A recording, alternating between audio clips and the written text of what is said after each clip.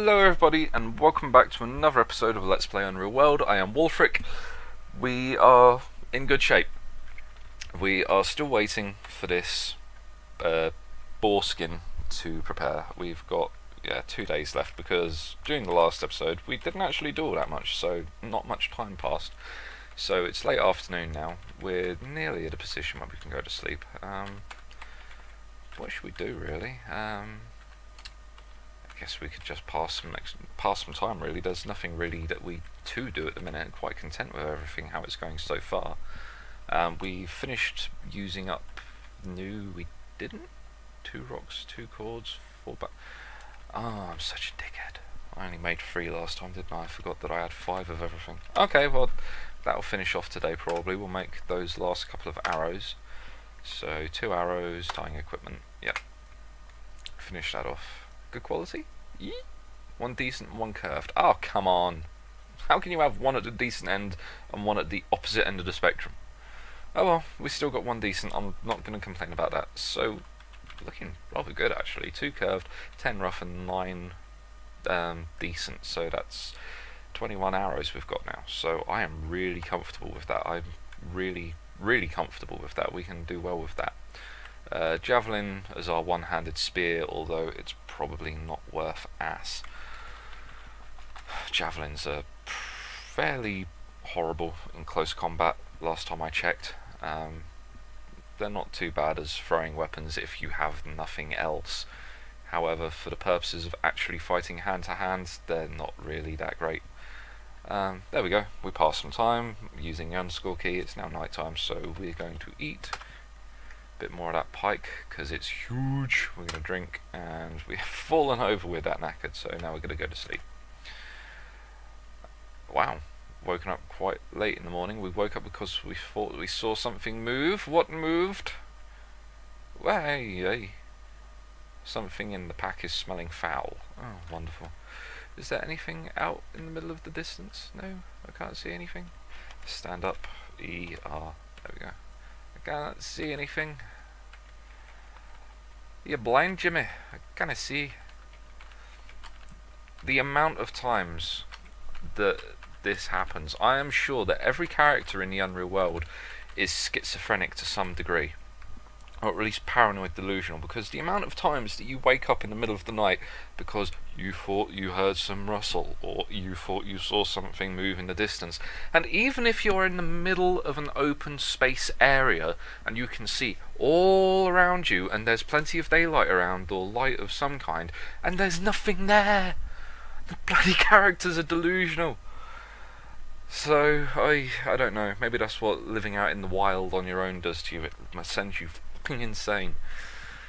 So, uh, let's see now. So, we're still just waiting for this um, skin to finish off, so it'll be ready tomorrow. So, in the meantime, we are going to make an absolute ton of primitive cords, because when we come back from our hunt, we will hopefully be laden down with wonderful amounts of bounty, and not the chocolatey, coconutty kind, but of the tasty, meaty kind and then we are going to want to preserve everything. Everything, everything, everything. And actually, we should probably go and check on the uh, village today to see how our bear meat is doing because that should be coming along, I think. Not too long left. So how many branches have we got here now? 200. That is okay. That will make 10 bronze, 10? Yeah, that should make about 10 primitive cords. So, not too bad. Who knew carrying a bunch of 200 twigs would take so bloody long? 10 minutes per square meter. 2 meters. Each tile is 2 meters. So it takes 10 minutes to move 200 twigs 2 meters. Wow. That is um really, really surprising. I guess we're Butterfingers keep dropping them all. So, make utility ba ba ba soak branches yes and repeat the process doesn't matter about the quality because it's gonna be used for other things and I say that and we get five decent Okay, um, look at this. We cut up all this firewood and we haven't actually bloody needed any of it yet. Ah, right, yes, I just remembered something went off in our pack. It's smelling foul. I can't see what, though. Was it the pike? We haven't gotten rid of anything yet, and there's nothing that would be in weapons, armors, or timber, so it must be food. But nothing is coming up as spoiled. It must be the roasted pike because that's the oldest thing here. It lists it in order of being picked up. And the roasted boar cuts and fat were the most recent food item we picked up, so it can't be that. It must be the roasted pike that's gone off. So, yeah, to save risking it, because you can poison yourself in this game if you happen to eat things that are out of date or if you uh, happen to eat poisonous mushrooms, it will kick your ass. Wrong button. Push, not move. There we go. Dump the last of that little fish into the river. Um, so, yes, the primitive cords are preparing and will be ready tomorrow, as will our pig lever. So, that's fine. I will point out now, though, that we're dehairing this. I'm still not 100% sure on whether we were actually supposed to dehair it or not in order to get leather, because I I could have sworn that pigskin turned into leather by default anyway. However, saying that, there is a difference between wild boars, which is what we killed, and pigs and sows, which you can trade for from a village. So I think it might just be pigs and sows that you trade from villages that give you instant leather, whereas wild boars do tend to be quite hairy, so maybe that was correct. I don't know, but it didn't stop us and say, you cannot do this, so it must have been needed. So, um, that'll be fine. And once it's finished dehairing, dehairing is the longest process. Tanning it is going to be a lot quicker. Uh, each process takes about a day, I believe, except no, even the last process takes about a day because you have to beat it for a day. Um, so yeah, two stages of waiting for a day and then one stage of beating the crap out of it with a stick for a day. So let's check the village and see how our meat is getting along. Taking forever. Right, there we go. It's over here. Yes? Yes? Grunt? Oh, yeah, they have pigs. Um, where's... There it is. Had a heart attack from here then. Only 76, really? I thought we had more than that. Huh. But yeah, I honestly thought that they'd nicked it all. 17 days! Arrgh, it takes so long. It takes so long, but it'll be worth it. It'll be worth it in the end. It will all be worth it. We've got to keep telling ourselves that. Now, it would be useful if they had something here to trade. Just something that we could trade the meat for, because they're quite happy to trade for food. He's carrying eight bear cuts. Where did you get those bear cuts from? Thief! Um, yeah, I really want a spear. I know that you can use clubs and stuff as spears, but I really like Kaumo spears. I don't know why, I just always have good luck with them. I, nobody has a Kaumo spear. I don't want a Kaumo spear. It's fine, it's fine. Ooh, did I check you already? Yeah, I checked you already. Boring bastard. Aye, aye, aye, aye, aye. Right. I think what we are going to do is we are going to go on a quick little expedition and search out some of the other Kaumo villages. If we go to the map, I could have sworn we discovered a few. So the red square is us, and the brown is our settlement and shelter. And then yellow are villages and settlements. So culture, yeah. So we're currently in the middle of Kaumo territory, and here where we started the game, a Nyerp camp has popped up because they're bastards like that, and they always pop up where you start after you've left the area. But we've only found two Kaumo villages so far. We found the one up here, right next to our shelter, and the one down here that was inside of. It was between two rivers. I remember now we couldn't get to it because we came across we came across it and it was on the other side of a river and that was how we came to this one because we were just following the river as far north as we can and we just never found a way around it. I can see even right now we are right next to this bloody river. Right here, this thing. We need to find a way to get across. And there's another settlement. Uh, we just really, really, really... I don't think we're going to get across until we've got a raft or a canoe. Or we skirt around this, like here? No, no. Dang it. Maybe? Can we, have we actually reached the end? Have we reached the source of the river? Can we skirt around it and find a way? Because it seems that that is... Yeah, you can't... We need watercraft. Because swimming... You can swim in this... Oh, hello. What was you? Eh. Eh, show me. Where was the vantage point? I just saw a stag or something. Ah! There he is. What are you, a stag, and elk? An elk. We're coming for you in a couple of days. We have really... I just love that we've struck upon such a game-rich area. I've got no idea if this wolf pack is still up around here somewhere. A snake?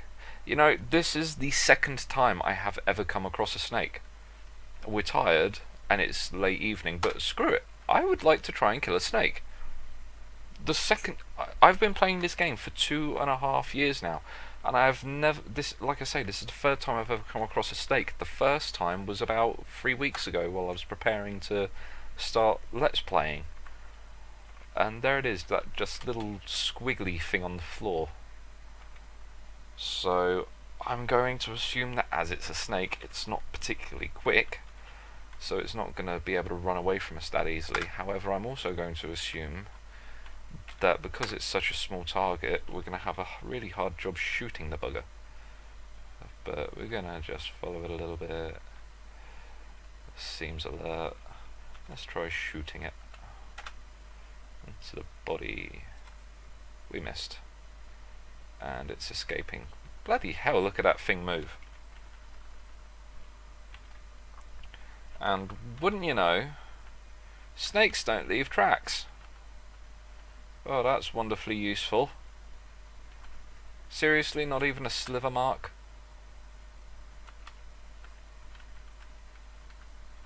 Oh, there he goes. Where? There he is. Is he still escaping? He is still escaping. You can tell by the kind of whooshy pattern underneath him. I don't know if you can see that. Well, he's not moving too quickly, despite the fact he's escaping. And it would help if we weren't running all over the place like morons. You know what? Screw it. We're gonna just we're going to wield the hand axe, and we're gonna run after the little bugger. We're just gonna try chopping at him. Uh, two in the diagonal and we're going to use the edge and going to go for the body. Ooh! you carry out a perfect strike, your uh, hand axe strikes hard to its abdomen, blood gushes out, fall unconscious. Oh, he's curled up! Oh, poor little guy. Oh, let's chop your head off and get it over with. Uh, edge, neck. Drops dead in an instant. Sighs once, then lies still. Okay. a sighing snake. Now, again, second time I've ever found one of these, so I am really curious as to what we're going to get from this. We're we going to get snake leather? That would be awesome if we do. Uh, we are going to... Ah, we've got to start cutting into our um, cuts. And we have no water. Dang it! Right, uh, we are going to drop some things while we are doing this. We're not going to drop the knife because we need that for skinning, but we're going to drop the javelin, the bow, uh, the arrows, because all this stuff that we're carrying is weighing us down to some degree. Even though most of the stuff I'm dropping here is only like one or two pounds here and there, it still all adds up to weigh us down.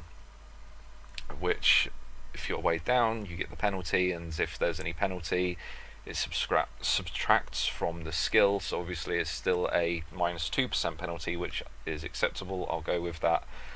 But that means that it's minus two percent away from forty-three percent. So our, effectively, our hard working in a minute is only forty-one percent.